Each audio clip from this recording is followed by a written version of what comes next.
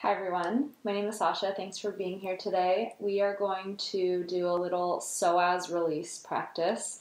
I'm also going to call this a stress release practice because often the psoas or the hip flexor muscle muscles are affiliated with stress. If you think about it, it is when we tense up or flex these muscles when we're cold or afraid or sad or when we have digestive issues. So these muscles that are attached to the top of the thigh, they even go into the lower back lumbar spine and into also the abdominal area. It can create a lot of discomfort and that can just deepen the dis-ease that we're feeling when we have a tight psoas. So this was for a friend who requested some information and some guidance on her own psoas issues, and so I thought I would create this very simple sequence that you could do at home with just a few things if you have them on hand to help create some relief and some release for you. You can do it while you're traveling or when you're not feeling well. It's a very nice and sweet sequence of postures. So we're gonna start on the mat. You can have um, a block or something similar, a strap or something similar. I have a blanket that I'm going to roll up and this pillow or bolster. It's a big couch cushion um, that's a little bit longer. You can use two pillows as well. So take the blanket or whatever you have, fold it really nicely so it's long, and then roll it. I'm going to roll mine all the way because this is a thin blanket. And this is going to depend on your body, on what feels good to you. So you're going to sit in child's pose. If you have issues with your knees, you can put a pillow or two underneath your butt on top of your heels so that your pelvis is lifted and it can descend naturally. And the big toes will be together the knees will be apart just enough to fit the torso, so not a huge opening of the knees. And you'll pull the blanket back so it's tightly rolled. It's right on top of the thighs. The hands are on the outer hips, and you pull it back so the belly is going to come up and over the blanket roll. So when you go up and forward, you kind of pull the blanket roll back. Oh yeah, and it releases the abdominal, releases the abdominal muscles. And then once you're kind of here in this position, you can reach your arms forward when you're ready and again, press the hands gently forward so the arms elongate. Oh, I feel it already. And let the butt go down towards the heels. And then you can let the head come down. If the head can't come down naturally, you can put a block under the forehead or a pillow. I think my head can come down, so I'm just going to enjoy this here. And you'll just be here for a few breaths. Remember that you can always come up and either lessen the blanket roll, like make it a little bit less thick, or you can roll it more. So do your best to release the abdominals. This is not a good idea if you've just eaten or if you just drank something. So maybe consider this on an empty-ish stomach. Let your belly and your back relax. This also releases the back muscles. They're all interconnected. And do invigorate the arms just enough so that the side of the waist here is long. So a few more breaths. I often feel a release in my shoulders here after I hold this for a while because again, all of these muscles are interrelated. So do your best to breathe calm, do your best to breathe calmly in and out of the nose. Couple more moments. Let the butt go back naturally, reach to the arms. Let your breath be gentle. Hmm. Okay. To come up, of course, you can stay longer if you need, but to come up, bring your hands back and press yourself up so the head can come last. Oh, yeah. And just put your hands on your lap for a moment and take a breath. Notice if you feel any difference. I certainly do and just put the blanket roll aside. We'll use it later. We're going to come onto the back so that the feet are the same direction as the head, or that's the way I'm doing it anyways for this sequence today. So have your strap now. We'll use that and start to come down onto your back. Just bend the knees, put the feet down, and come on down to the back. Take your hair out if you need to so that your head is easily on the floor And just bring your feet as close to your butt as you can so the knees point up, the feet are hip width apart. And just take a breath here. If you want, you can open the feet for a moment, let the knees knock in, put the hands on the belly, and let the torso relax and widen. So the collarbones widen, the abdomen widens, and you're breathing calmly. And then bring the feet hip width apart and take the strap. Just undo it so it can come around the right foot. You can also use like a scarf or a towel or a t shirt. So it's right by the toes. And just extend the heel straight up to the ceiling. And as you press the foot up, you kind of gently just keep your hands gripped on either side. So the arms are straight, but you're not pulling with your elbows. The arms are more passive here. The, this is an active pose. Um, it helps to stabilize the sacrum, and the, that is also in relation to the psoas. So, as you extend this right thigh up, press the thigh away from the belly so you can see dramatically the right outer hip goes away from the right armpit. This right foot is active, so the toes are curling down and the thigh is pressing away do your best to keep this leg straight as you extend this left leg. So the left leg is actually extending the psoas, but it's with an active, a more active posture. And the right leg is helping to stabilize the sacrum. As you're pushing up, there's a natural pull down just by the weight of the shoulders kind of dropping into the socket here. And as this, in the same way, the right femur bone drops naturally down into the hip socket. And you are actively bringing this right outer hip away from the armpit and extending actively through the left heel and the right heel. So it's like you could press this left thigh down, you could press this right thigh forward, and you're breathing calmly. There's a lot of length and release in the belly and the left psoas, even though the leg is active. And there's that nice placement of the sacrum from the right femur just naturally coming down into the right uh, hip. take one more breath here. Reach through the heels more. Relax the belly. And then bend the left knee and then the right knee and just put the feet down and take a breath here for a moment. So sometimes active, semi-active postures can also be really therapeutic. So we'll just do the other side. So you just take the strap to the left foot near the toes and extend it up reach to the heel. Do your best to press this left thigh forward so there's some activity. Curl the toes down. The left outer hip moves away from the left armpit. And when you're ready, do your best to keep this top leg straight. The arms are passive here and straight. And you extend the right leg forward. So the legs are quite active. You're pressing the right thigh down, especially the inner leg. And in the same way, you're pressing the left thigh forward so the pelvis is equal, and this left femur, the top of the thigh bone, can drop naturally into the pelvis, into that hip joint, and you're relaxing the belly so the right psoas is lengthened, the right side of the body is long. Do your best to keep the collarbones wide and the breath calm. Just a few more breaths. This is Supta Padangusthasana A, or supine Pada is foot, Gustha is fingers. Eventually, the fingers take the toes. Gusthasana A.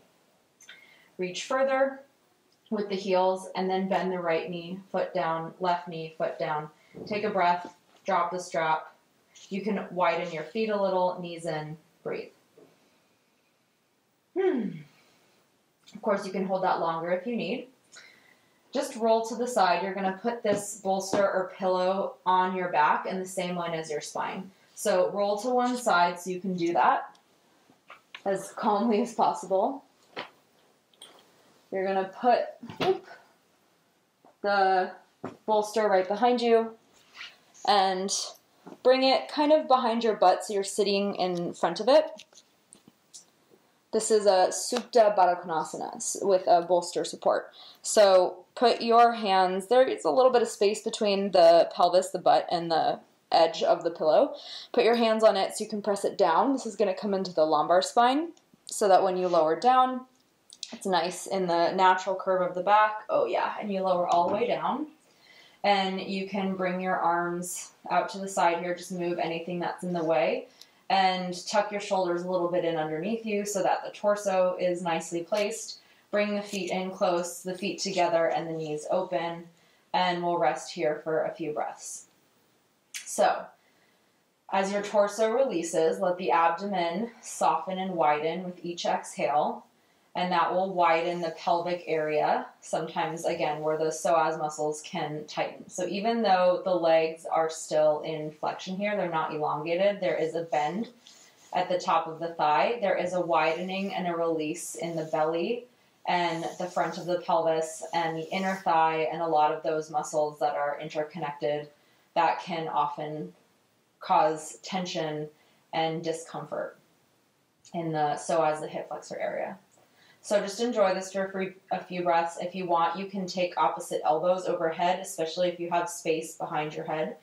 If you're really uncomfortable in your neck, you can always lift your head up and put um, a nicely folded blanket or a small pillow under your head.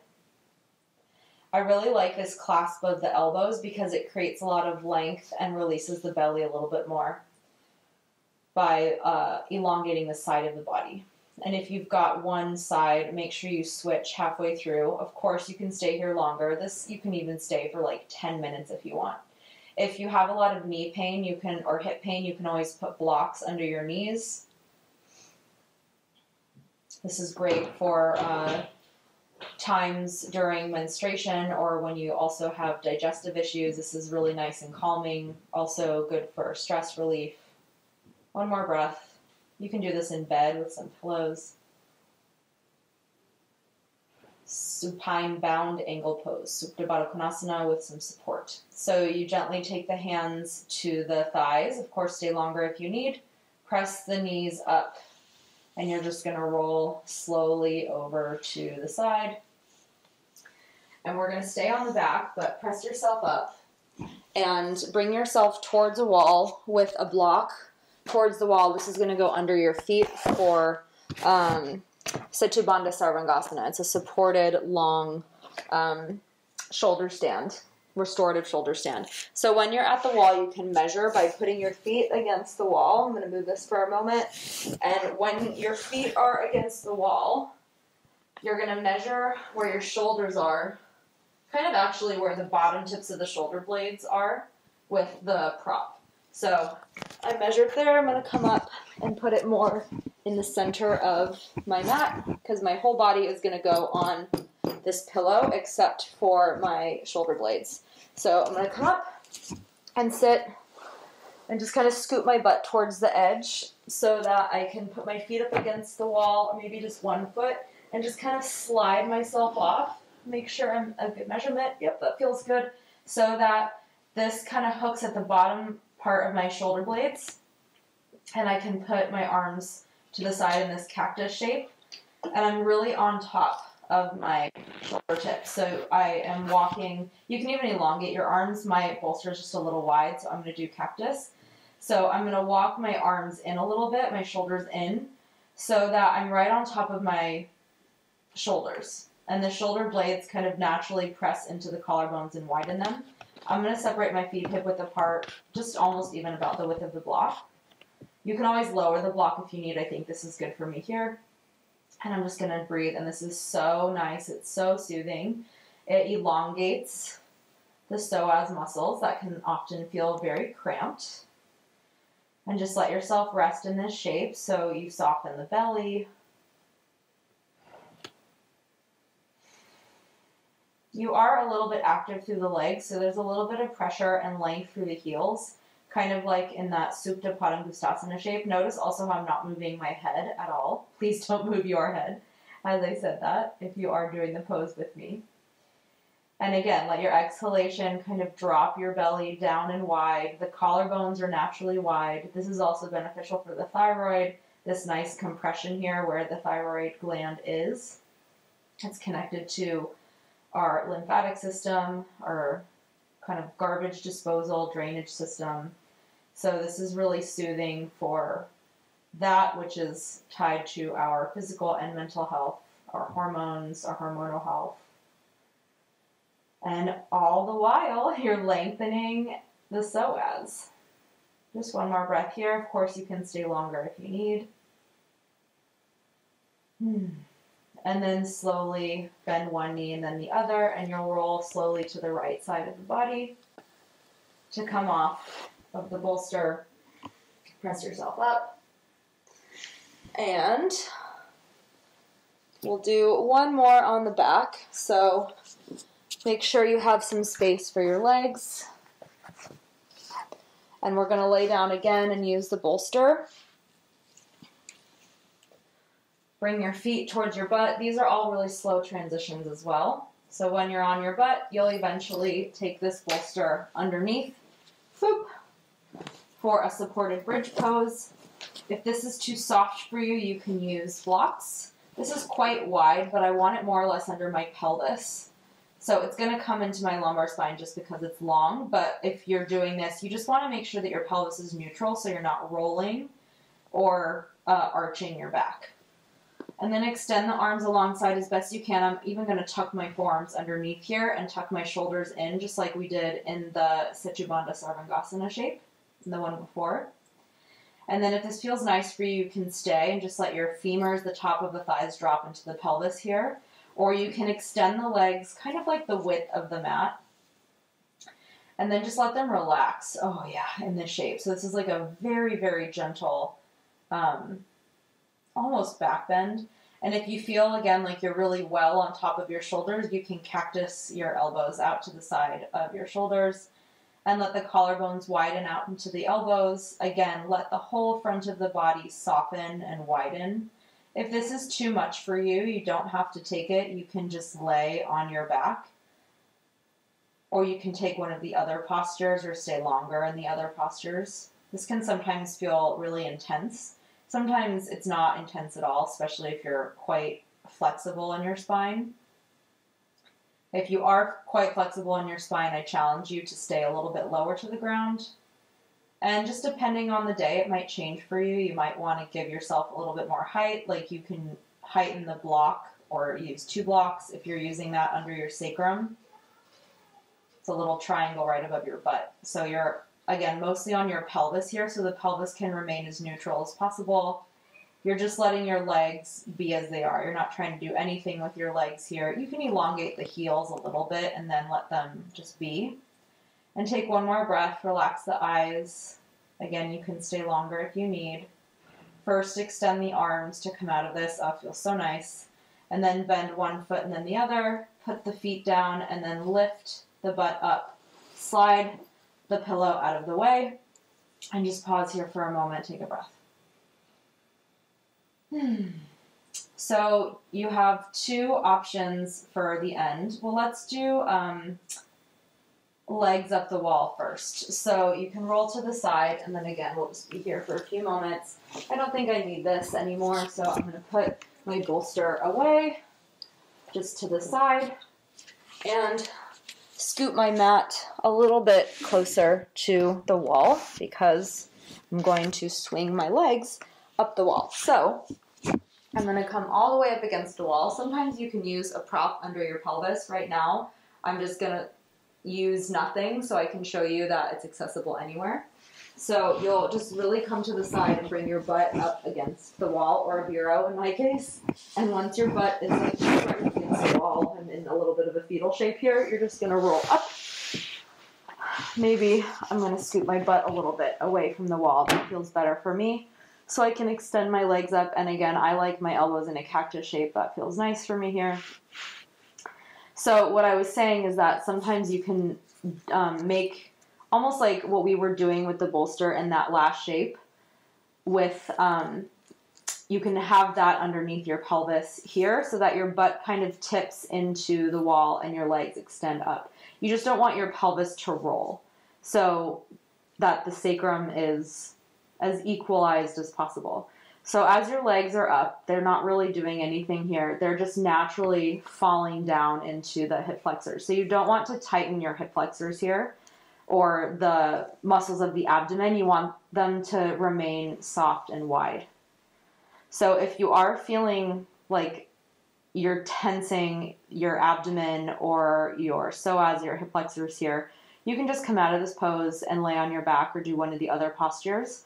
But this is meant to really pacify the nervous system, pacify the legs as they just naturally plug down into the hip socket. So it's a less active posture here. And again, just a few more breaths, but you can certainly stay here for longer, even up to like 10 minutes. It might feel really nice if you need to strap your uh, the middle of the thighs together. It can help to create some stability in your legs so you can really relax them in this shape and you don't feel like you have to hold anything up. Let your eyes relax. Just take one more breath. It's called Viparita Karani, legs up the wall and then slowly to come out, you come out the same way. So bend the knees, slide the heels down. It might be nice to stay here for a moment and actually give yourself a little hug and relax the belly. Relax the thighs into the belly. Oh, yeah, it does feel nice. That little bit of compression into the belly can feel really nice, almost like a little massage for the organs and the muscles there. So do your best to really release the belly and the thighs here so you're not pushing the belly upward but releasing it with the breath. And then slowly roll to the side and press yourself up. And the last final pose is final resting pose for now, anyways. So I'm going to give you two options. You can lie down on the back with a rolled blanket underneath your legs or a bolster. This is quite big, but you could put this underneath. Let's see if I can slide this in underneath your legs. Sometimes you can even tilt it up so that your heels can come down on the floor and rest the arms by the side. This pillow doesn't really work for me, and I'm actually going to take um, Shavasana on my belly. So I'll show you what that looks like. If you're very comfortable with something under your knees, you can stay there. Otherwise, you can come onto the belly, and I'll show you what that looks like with a blanket roll underneath the belly for your final rest. So this is going to go in my abdomen. So I'm just going to come up and over it.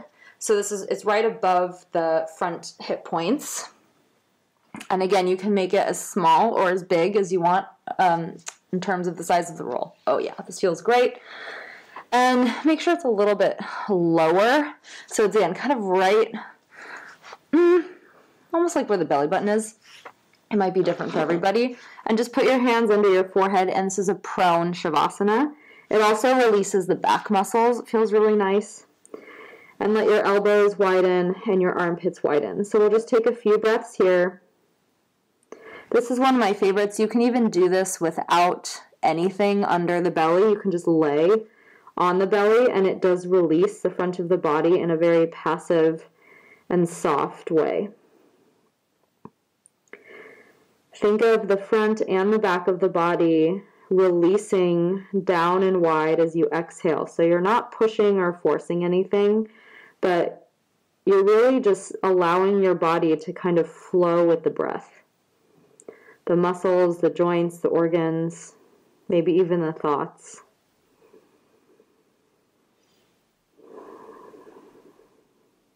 It's cultivating a sense of softness. So all that tension that can accumulate in the hip flexors and around that area and within that area, like the organs, you can just consider what it feels like to be spacious and soft. Maybe to release, or at least have the intention of releasing and relieving that area, or wherever feels tight in your body today. Last breath here. Stay longer if you need. And to come up, roll to one side. Even if you're on your belly, might feel actually really nice to roll onto the side of the body too with that blanket roll there. And use your arms to press yourself up to a comfortable seat. And just pause for a moment in a seat, wherever you are. You can close your eyes if you are in a seat and it feels tight in your hip flexors, you can elevate your seat by sitting on something so that your legs can just fall into this shape naturally. Sit up a little bit taller. Bring the hands together at the center of the chest and thank yourself for showing up for yourself in this way today, for taking time to pay attention to yourself and to relieve any discomfort you might be feeling. Namaste. Thank you.